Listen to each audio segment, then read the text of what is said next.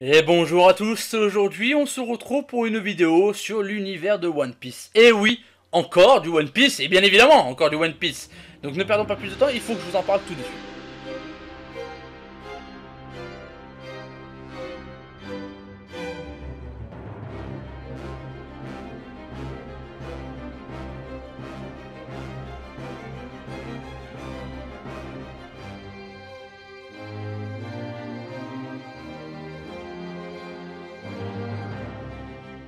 Alors mon aventure One Piece a bien évolué. Actuellement je vous fais cette vidéo, j'étais en train de regarder du One Piece et je dis non faut que j'arrête, faut que je fasse une vidéo. Bah alors ça sera sur un petit passage court, au final ça sera que sur Thriller Bark et un peu après et un peu avant Thriller Bark d'ailleurs.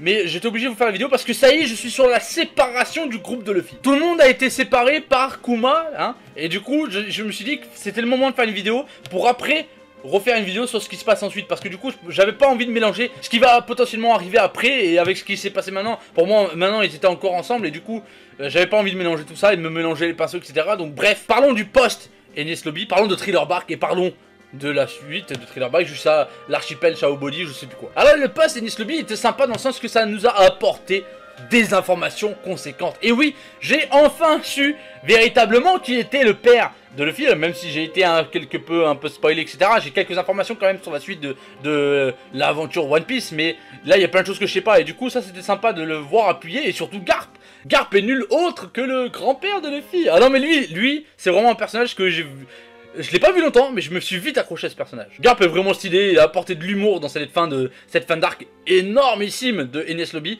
Et vraiment, c'était quelque chose d'intéressant qui apportait aussi pas mal d'informations. Et du coup, on peut pas cracher dessus. C'était vraiment sympa. Alors après, on passe à l'arc Thriller Bark.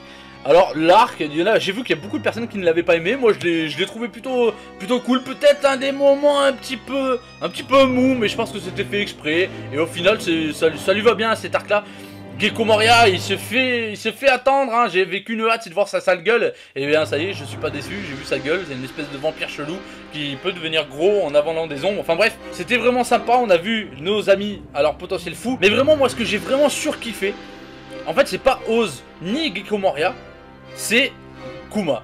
Kuma quand il est arrivé, pour moi il m'a mis une claque, mais alors je, ça faisait longtemps que je l'attendais ce personnage, je l'ai en figurine, c'est pour ça que je sais qu'il allait arriver et je sais pas, j'aime son design déjà que j'avais déjà sur ma figurine. J'avais hâte de le voir en animé. Et il a apporté quelque chose de... Kuma il a apporté le truc en plus en fait, la puissance en plus.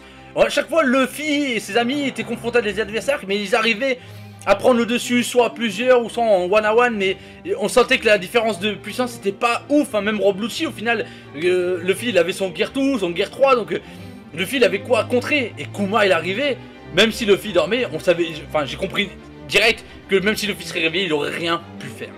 Kuma a vraiment apporté quelque chose de fou dans One Piece. Et ça nous montre encore que l'univers peut me cacher pas mal de choses. J'ai trop hâte de découvrir la suite. Parce que justement l'univers est vraiment blindé d'informations. Il y a beaucoup beaucoup de personnages. Et là, on voit quelque chose de vraiment terrible. Kuma vraiment il m'a fait flipper. Et surtout le passage de Zoro justement, il veut prendre la place de Luffy. C'était... C'était sans sas, c'était sans sas. Alors avant de passer à juste après Back, je voulais juste appuyer un truc. J'ai entendu parler d'un certain Kaido, que Gecko Moria enfin Kaido aurait été le seul qui a tenu tête à Gecko Moria et qui l'aurait battu dans Back. Alors j'ai eu des vagues idées de Kaido, donc on m'a déjà parlé un peu de ce personnage, malheureusement parce que du coup ça m'a spoilé. Mais du coup, si je comprends bien, Kaido, il est vachement puissant, mais Gecko Moria, l'aurait, l'aurait, lui aurait tenu tête en quelque sorte. Alors c'est quoi? C'est peut-être le pouvoir de Gecko Moria Peut-être que Kaido n'y a pas fait attention, enfin je sais rien. Mais c'est bizarre cette histoire et j'espère... Alors je sais pas, vous pouvez éventuellement me dire dans les commentaires sans me spoil, mais j'espère qu'on en saura plus sur cette histoire Gecko Moria et Kaido quand même, hein, parce que c'est trop vague pour moi. Alors bref, il se sort de ce petit thriller back, un arc vraiment sympathique qui a apporté un peu des mystères et des vampires et des zombies, etc. C'était vraiment sympa, il y a eu, du, il y a eu des, trolls, il y a eu des trucs comiques, etc. Avec Sanji d'ailleurs, avec l'autre qui se transforme en... qui se devient invisible, avec l'espèce de vachette là, Lola, enfin... Ils ont réussi à mélanger humour et, force et, combat, c'était vraiment, vraiment terrible. On voit encore la richesse, enfin le potentiel de, One Piece, vraiment ça apporte quelque chose de pas mal, même si l'arc, là je l'ai trouvé un petit peu plus mou vis-à-vis d'Enias Lobby, forcément on fait toujours des comparaisons, mais l'arc était vraiment excellent, hein, ça on peut pas le nier. Mais on a eu mieux du coup, ça y est, on, a eu, euh, là vraiment je pense que c'était un climax de ouf, euh, Lobby, c'est vraiment un truc de fou, du coup on s'attend toujours à mieux, c'est toujours comme ça quand c'est dans le développement, etc. Et du coup, le mieux, je pense qu'il arrive maintenant. Et oui, là j'étais passé justement à l'arc où on est à le truc de Shaobody, là, l'île de Shaobody, je sais plus trop quoi. Et là, ben je flippe. Mais là, non, mais là, mais là, je flippe. Parce que je viens de voir enfin un amiral en action, terriblement, parce que Aokiji il a rien fait de spécial. Mais là, vraiment en action. Et là, c'est ouf. Là, j'ai eu peur pour les gars. Je me suis dit, mais c'est ouf, quoi. Les mecs, ils sont sur une île, il se passe ce qui se passe, etc. Faut faire attention aux Ten, euh, Liubito, je sais plus quoi. Faut pas leur taper dessus, sinon on a un amiral qui va arriver avec ses marines, etc. Bon, j'ai très vite compris que c'est ça qui allait se passer. Et c'est exactement ça qui se passe. D'ailleurs, Luffy lui met une patate à l'autre connard. Ça, ça faisait du bien. Et du coup, le marine arrive. Et ce qui est intéressant, c'est qu'on voit d'autres capitaines, de d'autres pirates, d'autres capitaines pirates qui ont aussi des primes. Il y en a même un, il a une prime au-dessus de Luffy, c'est Kid. Et on voit dans l'enfant de Golo. Lui, c'est, lui, il est vraiment intéressant. J'ai vraiment envie d'en savoir plus sur ce personnage. Je sais qu'on va le voir après. Hein, ça, j'étais spoil aussi, mais il y a plein de choses qui sont intéressantes et là il y a plein d'autres pirates qui sont là avec des, des, des, des, primes sur leur gueule et c'est là vraiment on sent encore qu'il y a plein de personnages qui vont nous en mettre plein la gueule dans, dans, dans One Piece et j'ai vraiment trop hâte ça fait ça fait du bien en fait de voir un manga avec autant de diversité, avec autant de personnages, c'est vraiment exceptionnel. Et surtout quand tu les vois tous craindre que l'amiral va arriver. Alors ça c'est ça c'est ça montre la puissance et l'impact de l'amiral. Et d'ailleurs, au moment où l'amiral arrive, juste avant, il y a les Pacific Stars, donc les clones hein, de Kuma, qui sont là et qui mettent à l'amende, malgré qu'ils n'ont pas tous les pouvoirs de Kuma, ils ont juste des rayons, etc., un peu comme justement l'amiral, et ils arrivent à mettre à l'amende des capitaines je me suis dit, ouais, ils vont être moins forts, le va réussir à les fumer à lui tout seul. Mais non, il a eu quand même besoin de Zoro et de Sanji pour en niquer un. Capitaine Kid, il a galéré. Ils, sont tous en galère alors que c'est juste des clones. Et après, l'amiral, il arrive. Et lui, il met une pression de ouf. Mais alors, oh là là, quand il met à la main tous les capitaines au début, les, premiers capitaines, là, c'était terrible. Et après, quand il, il, fume Zoro en deux secondes. Bon, après, Zoro, il était fatigué, ça je comprends bien. Même lui, il le dit, ouais, je m'attendais à mieux. Mais c'est qu'il est fatigué.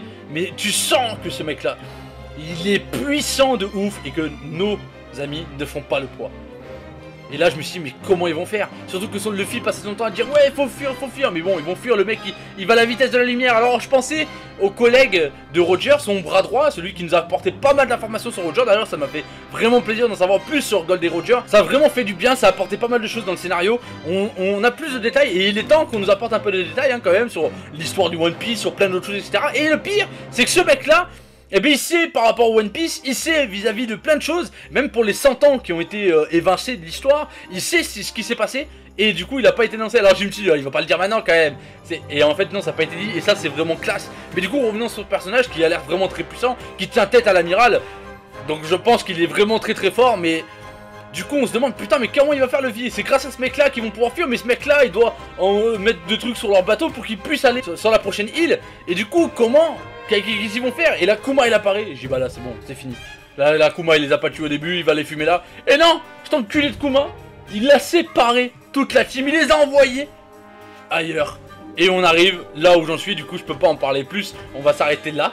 Mais du coup, j'espère que cette vidéo vous aura fait plaisir. Alors oui, je me suis un peu emporté, mais vraiment parce qu'il y a plein d'informations qui, ont été emmenées dans cet univers de One Piece. J'en apprends tellement. À chaque fois que je regarde l'épisode, j'apprends des choses, j'apprends des choses, j'apprends des choses. Je n'ai qu'une hâte, c'est d'arriver à ces 800 et quelques épisodes. Alors là, je suis à l'épisode 420, je crois.